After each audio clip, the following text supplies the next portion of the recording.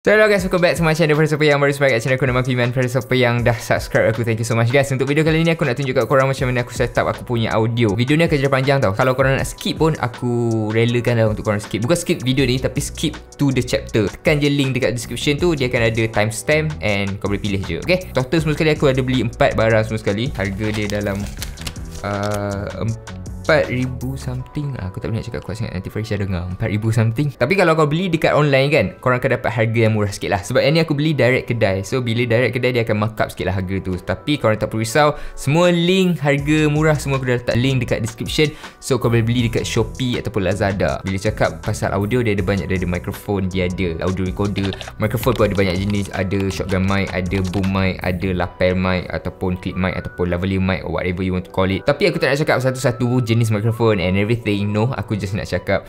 Untuk setup aku kali ni je. Macam yang korang dengar sekarang ni Aku menggunakan boom mic. Ah, Jomlah kita tengok unboxing satu one by one Barang apa yang aku guna untuk dalam video kali ni. Let's go. Okay, so aku ada beli empat barang kat sini. The first one aku ada beli boom pole. Lepas tu aku beli shotgun mic Rode NTG4 Plus And then Zoom H6 And then the last one aku ada beli Blim. Kita tengok the first item dulu Which is aku punya microphone Rode NTG4 Plus. Dia ada bagi macam uh, Windshield ni uh, Ataupun pop filter ke apa ni uh, Yang warna hitam ni. And then the second one dia ada bagi dia punya charging cable. Lepas tu ada bagi mic holder kat sini. Dekat bawah tu dia ada bagi dia punya user manual. And then dia ada bagi a blue ring kat sini. Blue ring ni ataupun getah ni untuk korang letakkan dekat bawah dia punya shotgun mic tu lah. Kalau dia longgar ke apa ke kau boleh letak kat situ untuk ketatkan dia. And then dia ada bagi stiker I love Rode microphone ni. Lepas tu dia ada bagi warranty card juga. Come with uh, 10 years warranty guys. Uh, 10 tahun warranty so memang worth it untuk korang beli. Lepas tu dia ada bagi posh bag ataupun carry bag ni. Yang warna warna hitam macam ni. Lepas tu nampak macam leather sikit sikit lah Ala-ala leather sikit. Nice tu nice Tapi aku rasa macam aku tak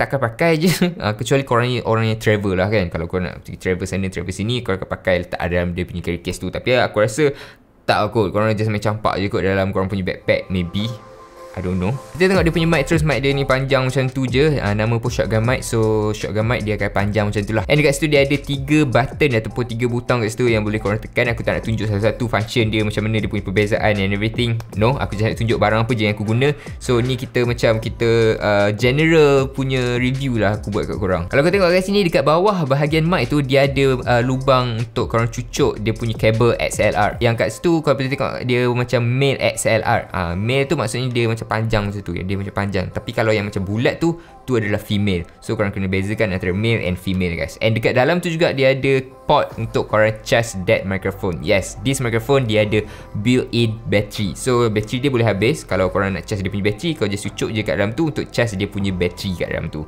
And dia menggunakan phantom power juga. Uh, ni aku akan selitkan dengan sekali dengan nantilah aku akan selit sekali dengan aku punya zoom h6 tu. Tu je dekat dia punya microphone. Kita tengok the next item pula which is uh, zoom h6 uh, ni adalah sound recorder. So yang sebelum ni aku pakai zoom h1n zoom h1n ni mostly pada orang cakap entry level lah orang-orang yang baru nak join uh, videographer ataupun yang nak main dengan audio ke korang perlulah zoom h1n ni sebagai korang punya audio recorder. Sebabnya dia punya kelemahan dekat sini just satu je dia ada satu je audio input. Uh, so sama ada korang nak cakap macam ni macam mikrofon pun boleh. Ataupun korang nak cucuk wire dekat sini and sambungkan dekat korang punya mikrofon pun boleh juga. So ni kotak dia. Uh, macam ni aku tak nak explain sesuatu. Dalam dia ada macam documentation ni. Ada banyak jugalah dia punya documentation yang ada kat dalam ni. Yang aku rasa for sure korang memang tak akan baca and aku sendiri pun tak terbaca. And then dia ada bagi bateri juga. Bateri double A bateri kat sini dia dia ada bagi empat. Lepas tu dia ada bagi uh, this one untuk letak dekat atas dia punya sound recorder ataupun zoom H6 tu.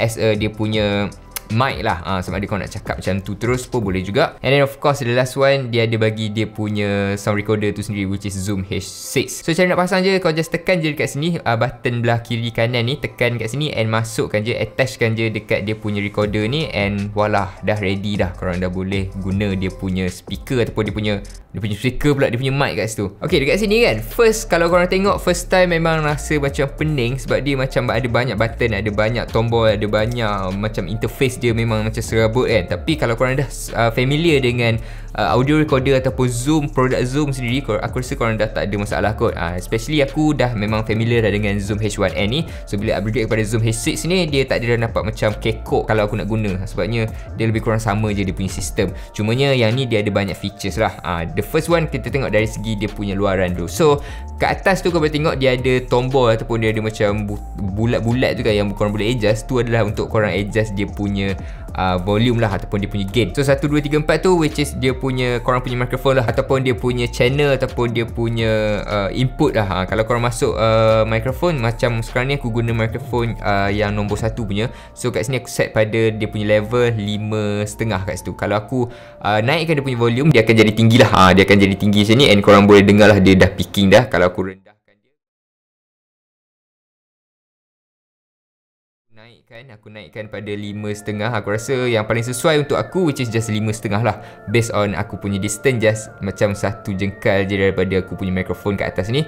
So aku rasa lima setengah tu adalah uh, optimum ataupun yang paling elok lah. And dekat sini untuk aku nak uh, turunkan dia punya dB ataupun dia punya decibel tu. Contohnya aku ni cakap kuat sangat kan. Aku nak turun aku aku tolak je kat sini aku tolak dia akan rendahkan aku punya suara tu kepada negatif 20 dB.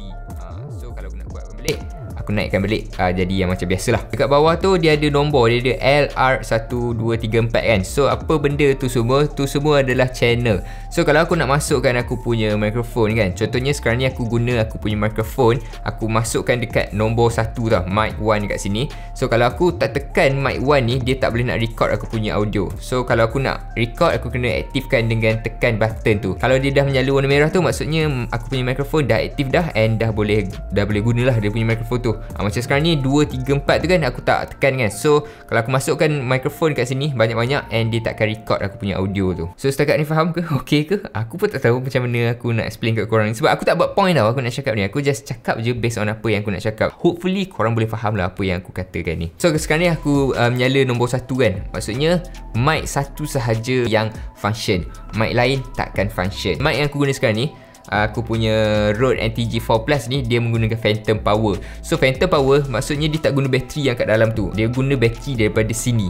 So Benda ni boleh salurkan bateri Kepada aku punya shotgun mic ni. And dia tak akan automatically aktif tau. Korang kena aktifkan sendiri dia punya phantom power tu dengan menekan button menu dekat belah tepi ni. Ha, dekat belah tepi tu dia ada button menu. So kau just tekan di menu and macam mana nak adjust dia punya pergerakan tu tengok button yang sebelah button menu tu dia ada macam tombol tu kan. So kau boleh turun ke bawah ataupun naik ke, ke atas. Ha, so bila kau adjust kat situ dia akan uh, adjust lah dia punya setting dekat screen ni. And then kau pergi dekat uh, dia punya phantom power. Tekan dekat phantom power tu and kau boleh on kan dia phantom power based on dia punya channel. Kalau korang nak on kan pada channel satu sahaja kau boleh on pada channel satu je.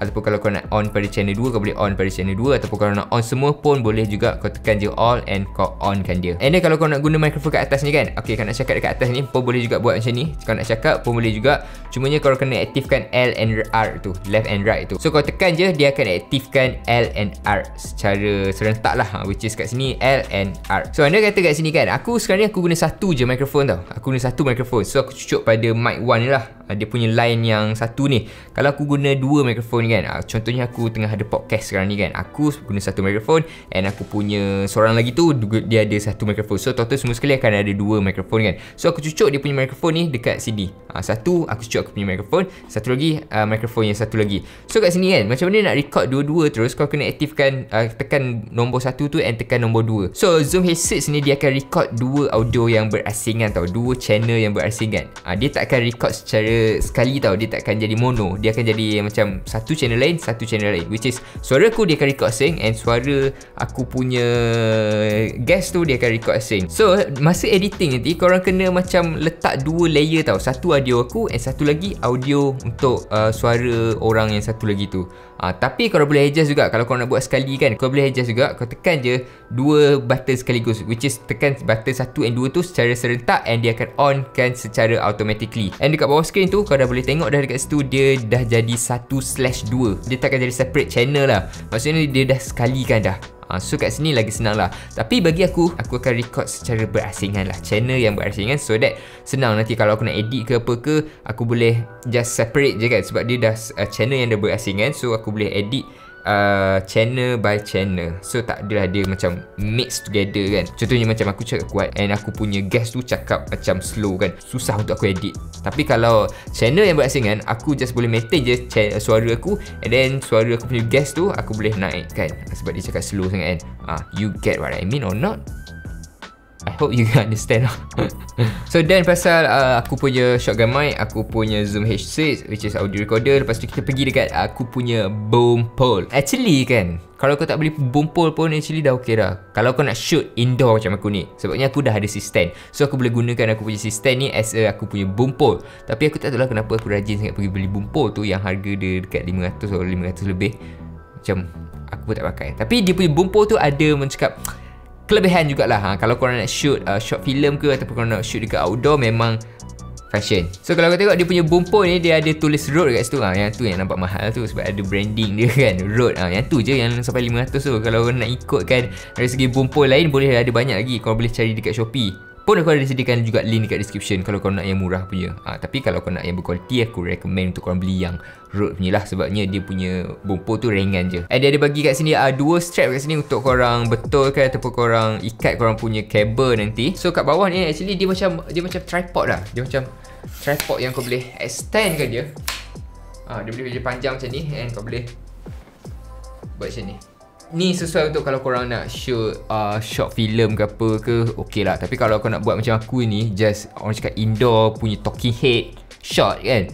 Aku rasa tak perlu nak ada orang kru audio untuk pegang macam ni kot. Sebabnya oh, oh, oh, oh, sebabnya kau just boleh pacak je dekat sistem ni as a dia punya boom pole kalau yang macam sekarang ni aku guna sistem ni dia punya wire ni nampak macam berselerak dekat bahagian luar kan. Tapi untuk boom pole ni kau boleh selitkan wire dia dekat dalam ni. Ha, kau boleh buka ni and keluarkan dia punya besi ni and nampak lubang kat dalam ni Lubang kat dalam ni kau boleh masukkan wire and tembuskan ikut sini. Ha, dia boleh tembuskan ikut sini and kau boleh tutup balik. Dari segi yang cakap cable management tu lagi nampak macam nice lah. Dia tak ada kabel langsung. Ha, dia nampak macam zero cable. Sebabnya kabel dia ada dekat dalam dia punya bumper ni. Okay the last one kita tengok dia punya blim. So dia punya blim ni dalam kotak dia just simple je. Dia just ada dia punya blim tu sendiri And then dia ada dia punya dead cat. Ha, Lepas tu dia ada lah dia punya user manual. Uh, User manual ni dia bukan macam user manual biasa tau. Dia bukan kertas tapi dia bagi buku terus kat korang semua As a dia punya manual. So macam Hmm, nampak macam simple tapi ada banyak benda yang korang kena belajar dari segi dia punya macam mana nak set dia punya blame and everything ni. So pentingnya audio dalam sesebuah video guys. Lepas tu dia ada bagi deck cat ni. Deck cat ni memang kau boleh tengok kat sini Warna putih macam ni Okay warna putih. And aku ingatkan nama je lah deck cat kan? Dia tak adalah macam bulu kucing betul. Tapi memang betul guys Macam bulu kucing betul. Sebab apa aku cakap macam, macam bulu kucing betul?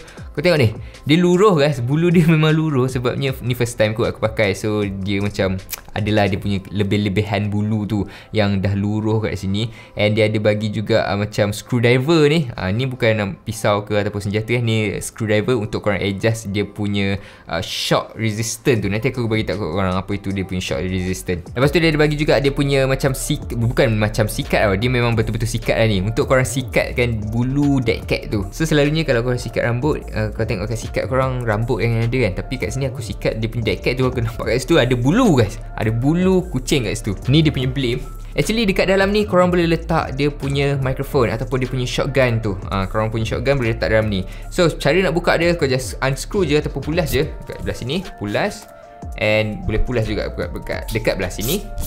And kau boleh keluarkan dia punya microphone tu. Dia punya suspension tu akan ada dekat dalam ni lah. So korang boleh keluarkan dia punya suspension tu. And kau boleh tengok ni adalah dia punya suspension. So dia punya suspension tu untuk korang letak korang punya uh, shotgun mic kat situ. Untuk tak nak bagi mic korang bunyi bergegar bila korang gerak-gerakkan korang punya bumper ataupun korang gerakkan korang punya mikrofon tu sendiri. So kalau korang pasang uh, kan uh, kalau korang pasang kat sini dia akan tertutup macam lah and mikrofon tu akan ada dekat dalam dia punya blim ni. Bukan ni adalah dia punya mikrofon tu. Uh, sebelum ni aku ingat orang pegang macam ni macam okay That's the microphone Besarnya dia punya microphone. Tapi actually dia punya microphone Dekat dalam ni. And kalau kau nak shoot dekat outdoor kan Kau boleh letak dia punya deck cat Yang dia bagi tu lah. So yang ni memang better Kalau kau nak shoot tepi pantai Yang angin kuat pun Aku rasa memang tak ada masalah. Dia punya blim ni guys Memang recommended Okay guys, mesti korang tanya kan macam mana aku set up aku punya audio. So aku akan tunjuk kat korang macam mana aku set up aku punya boom mic ni. Yang ni aku punya Rode NTG 4 Plus Aku letak dekat dia punya suspension ni. So function dia kalau dia bergegar kan Mic ni dia takkan dengar bunyi lah. Ha, Nampak dia boleh absorb bunyi tu. Sebab dia dah ada suspension kat sini. And aku attach dekat aku punya C-stand guys. Ni dia punya arm ni aku tak pakai dia punya boom pole Which is this one dia punya boom Aku pakai aku punya stand je. Sebabnya aku punya stand ni dah boleh jadikan dia punya pole dah pun Aku boleh adjust lah. Nak tinggikan ke Nak rendahkan ke Nak tip ah, macam mana Boleh adjust dekat sini. And aku gunakan zoom H6 ni. Okay kalau kau tengok ni di stand aku lah. Ha, Kalau aku duduk kat sini Aku buat talking head cakap kan. Ha, Ni aku punya distance lah. Lebih kurang satu jengkal Ataupun satu jengkal lebih lah Distance mulut aku dengan aku punya shotgun mic ni. So shotgun ni dia dah ada lubang kat situ kau boleh tengok ah dia dah ada lubang kat situ. So aku just masukkan je kat sini ketatkan and dia boleh peganglah aku punya uh, mikrofon ni. So guys aku rasa itu je yang aku nak share dengan korang untuk video kali ni. Aku dah share macam mana aku set up ataupun set up aku punya audio dalam aku punya video. Kalau korang nak tahu lebih lagi apa yang korang tak faham ke, kalau korang rasa macam tertanya-tanya korang boleh tanya aku dekat aku punya Instagram korang boleh DM aku yes underscore iman ataupun korang boleh komen je dekat bawah ruangan komen ni. And kalau korang ada benda yang tak faham ke just let me know okay? Aku akan reply. Kecuali kalau korang reply benda-benda yang macam yang tak related dengan video ni aku akan palau lah So itu je guys so video untuk kali ni. Kalau kau nak beli Aku dah sediakan link dekat description guys. Kau boleh tekan je. And kau boleh beli dekat Shopee. Memang harga dah Memang harga murah dah aku bagi kat korang semua. And link dekat bawah ni juga Link yang orang cakap affiliate link lah. So kalau korang beli Dapat lah. Aku dapat lah sikit Aku punya commission Aku punya bahagian tu. So we have each other lah Okay? So itu je guys. Thank you so much for watching. Thank you so much for stay daripada awal video Sampai hujung video. And see you guys in the next video. Bye